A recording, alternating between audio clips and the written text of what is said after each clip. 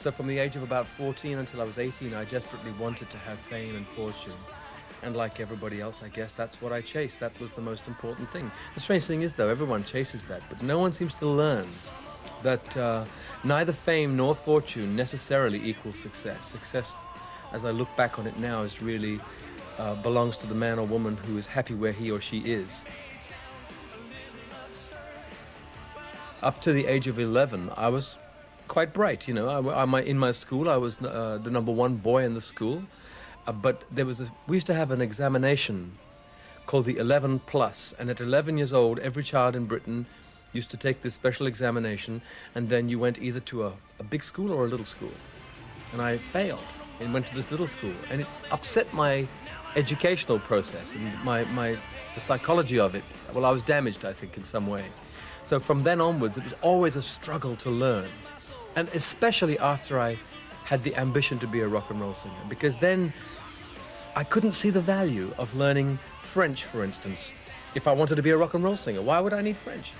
Of course, now I wish I'd learned French because uh, it wouldn't have changed my ambitions and it wouldn't have stopped me being a rock and roll singer. And it would have given me a chance to uh, sing and, and, and communicate with one of the largest audiences in the world. Right. Do you want? Would you call it out to me very slowly? Tu as vu? Tu as. Tu as vu? Vu? Vu. After I'd been successful as a rock and roll singer for about two years, I you know, like every thinking person, you start to think, well, you know, what is this? I mean, is rock and roll the answer to life? And the more I thought of it, the more I thought, no, it's not the answer to life. And then I thought, well, what is? There must be something in life that's that's more important than rock and roll. Of course, I realize now what it was, but it took me about two or three years to ask many questions. And I, obviously, my my background as a, a person who had come through England and therefore I was not an atheist as such. I just didn't care about God too much. I then looked back into the things I'd been taught as a child, and I remember reading about the Jewish people, and so I went to Jewish people and spoke with them. But for me, uh, as much as I find, found a lot to admire, uh, I didn't find any, any complete answers. I then spoke with Jehovah's Witnesses, and over a period of about a year or maybe two years, uh, they interested me greatly because they read the Bible regularly. And although I didn't gain much more than that from them, it was enough because that made me read my Bible. And when I read my Bible, I recognized that what the Bible says is that Jesus is the only way to God. If we want to find our way to God, there is only one way. And it's really the secret of all our successes, I think. If we have the key to something and we use the key to open the door, you're immediately successful. So I believe that the moment I used my knowledge of Jesus and made it something personal by committing myself to him, it opened the door to life for me. I went the same route as everyone goes. You know, when you're, when you're 15, 16, you think you know everything. You think your parents know nothing. You, you think that now I'm 15, I'm learning, I know everything. It's rubbish. I know now. It's easy for me to say now. So if you're 15 now, uh, you may think that you know everything, but believe me, in five years' time, you'll realize how little you knew. So I had to, I had, it's, a, it's a big lesson to learn. But when I became 24, I suddenly realized how little I knew about life. And the one thing that's for certain is that my confidence grew as I, as I became a Christian. Um, my attitude changed as I became a Christian because suddenly it was not important to be right all the time. You know, me, Cliff, I have to be, I'm the winner, I, I'm the number one, you know. That became less important. Yes, it's, it's important that my job, that, that, that what I do in life is the best that I can do. I, I put all I have into my career and I do the best. Sometimes I'm successful and sometimes I'm not, but I try my best. But Jesus changes your attitude to yourself, and, and, and more importantly, it changes your attitude to other people. So I found slowly I was becoming more involved in, in organizations like Tearfund, which, which works in third world countries. Um, and so major changes, I think. You can't become a Christian and have, have nothing change. It, it must change.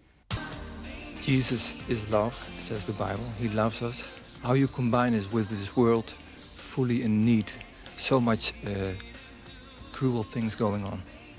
Well, you see, what you have to do is bring God into it. We are in the world, And the only world we, the only way that we can affect the world is if we blow the spark where we are and make it fan into a flame, so that each one of us must represent God in the world. It's too easy for God to come down here, you know, and say, "Oh, poverty, no poverty." Then there is no success for you and me. We had nothing to do with it. And also, if he did that, within 20 years, some of those people would be poor again and some would be very rich, because that's human nature. I think it would be completely wrong of God to tamper with human nature. He's already made us perfect.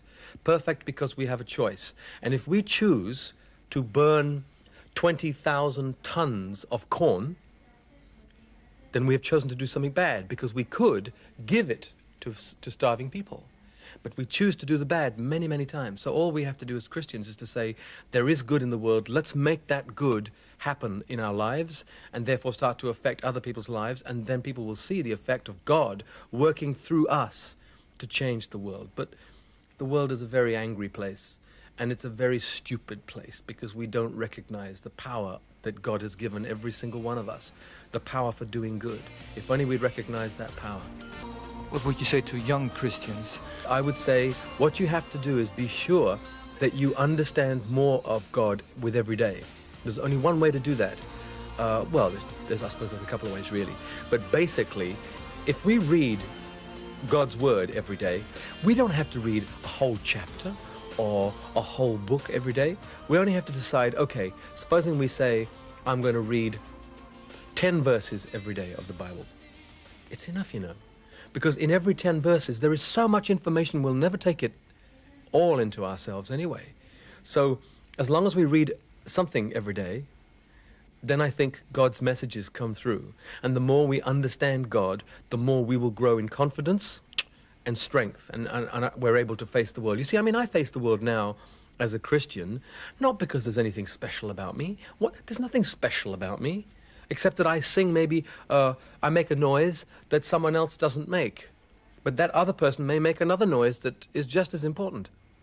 So uh, I only know that I can face the world with confidence because I know that God is alive. I know that Jesus is part of my life and that I can be valuable to him if I permit him. And so I would say to young people, let yourself grow in, in your knowledge and understanding of God and let him use you. Okay, ready? Go. Tea is ready, Cliff. I'll be right down. Good news. Good news. Good news. Heard from heaven, that good news. You're a rock singer and you combine it also with a gospel singer and being a Christian. Sometimes you, I think you have to cope with that. How do you do that?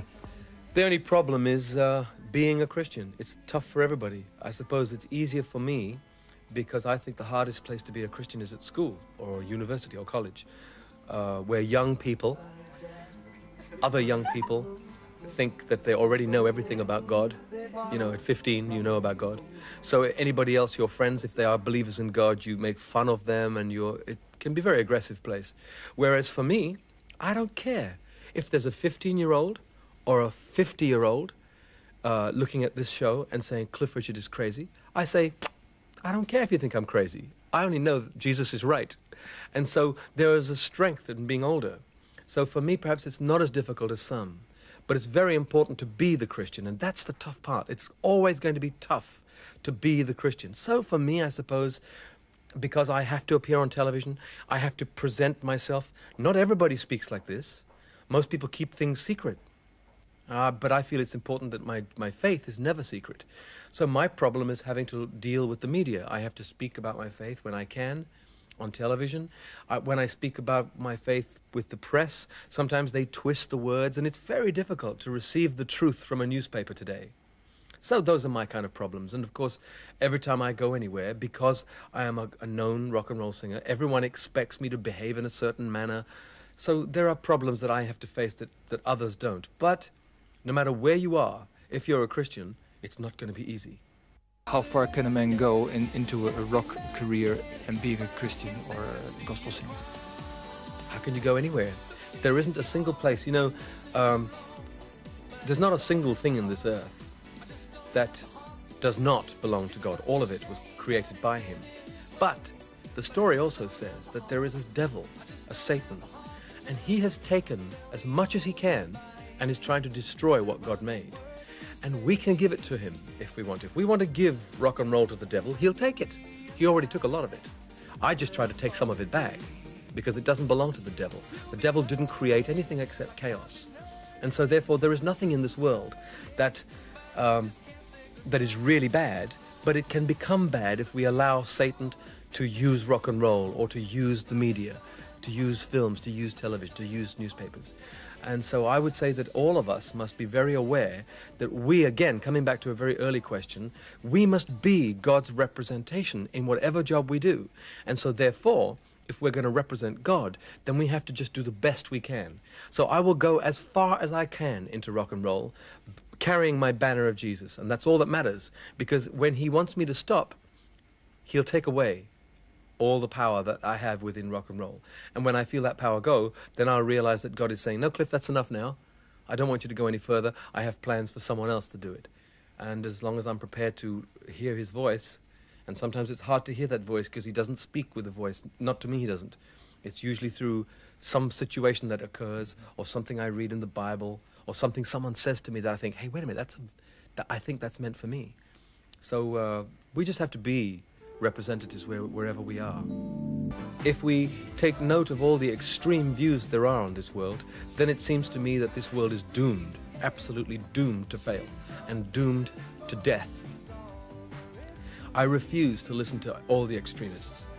I only know that each one of us has a responsibility to our fellow man and therefore to our environment. So I'm not an extremist, but I believe we must take care of how we live so that we don't damage uh, the environment for the next generation.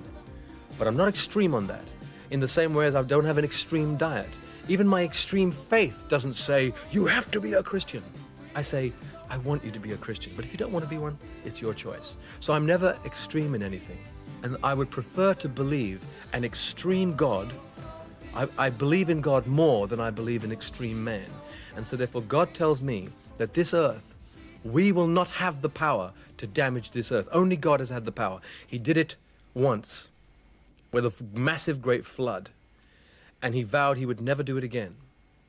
And the only thing that will ever happen now to this earth is that one day Jesus will come back and there will be all hell to pay. But that's not in our hands. So I firmly am very optimistic. I think it's good that we are concerned about the world and we are concerned to be in the middle, not extreme, to care about animals and babies and the environment, but not so extreme that we are blinded to God. I wish I could force people to see and understand Jesus, but I can't do it. So if what we have spoken today about has any value at all, and it has helped one person to understand Jesus a little more, then part of my wish would already be uh, granted. But I would wish everyone to have a fabulous life. But uh, as I say, I can see only one way in which you can have a really good life, and that's with God and with Jesus.